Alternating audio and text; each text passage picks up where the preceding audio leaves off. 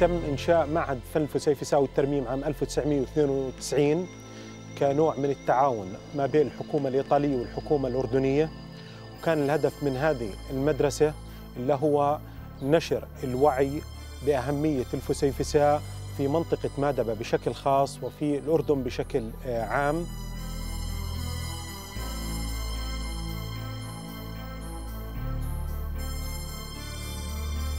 منذ عام 2007 تم تحويل المدرسة إلى معهد يمنح درجة الدبلوم في فن إنتاج وترميم الفسيفساء. بالنسبة لتخصص الفن إنتاج وترميم الفسيفساء هناك مسارين في هذا التخصص. مسار إنتاج فسيفساء حديثة وهذه طبعا ضمن المواصفات المتعارف عليها بقانون الآثار الأردني. بحيث يستطيع كل الطلاب ممارسة هذه المهنة في داخل المعهد وخارج المعهد. أما من الناحية الأخرى لهو ترميم اللوحات الفسيفسائية الأردن يمتاز بوجود تقريبا ما لا يقل عن 400 لوحة فسيفسائية أثرية.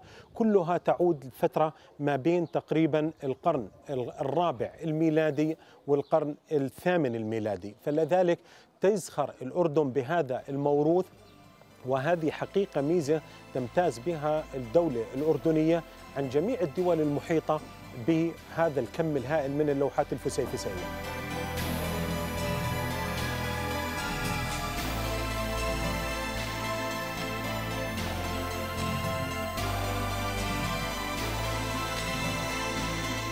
الجزء الأساسي من مهمة المعهد أن يدرب طلابه على كيفية صيانة وترميم اللوحات الفسيفسائية التي تكتشف. وهناك والحمد لله طبعا ساهم المعهد في عمل دراسات وعمل أيضا ترميم وصيانة لكثير من اللوحات الفسيفسائية الأردنية. وآخرها طبعا الاكتشاف الذي نفتخر فيه أنا شخصيا أفتخر فيه كعميد للمعهد وأفتخر فيه كطلاب أيضا قاموا بهذا الاكتشاف تم اكتشاف أرضية فسيفسائية تعود تقريبا للقرن السادس نهايات القرن السادس وبدايات القرن السابع الميلادي في جرش. وقام الطلاب وبمجهود فعلا فردي وبأكبر الإمكانيات وبأقل التكلفة المادية بترميم هذه اللوحة الفسيفسائية المهمة جدا.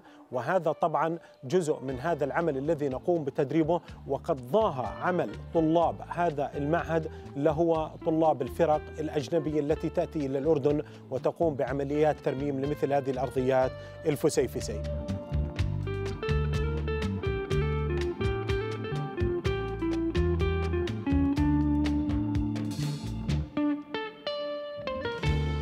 ونحن ربما المعهد الوحيد في الشرق الأوسط الذي يمنح طلابه هذا التخصص بالذات في الفسيفساء لذلك بدأت والحمد لله اللي هو طواقمنا ليس فقط تركز على الأردن وإنما أيضا ننتقل إلى مشاريع دولية سواء إقليمية أو عالمية.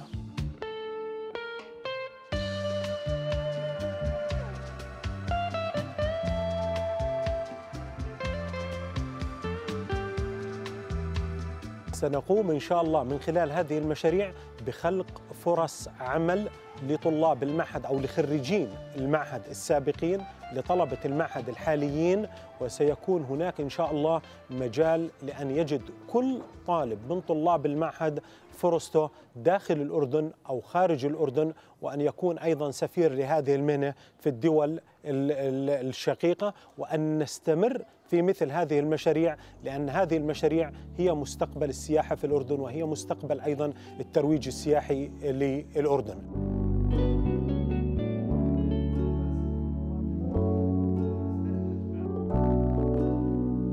بفتخر طبعا وبعتز بالبيئة التي يتواجد فيها المعهد بأنها بيئة أيضا أثرية ونحن الآن في هذا المكان هو الشارع الروماني الذي كان يخترق مدينة مادبة من شرقها إلى غربها وبالتالي هو جزء أيضا من البيئة الأثرية الموجود فيها هذا الموقع.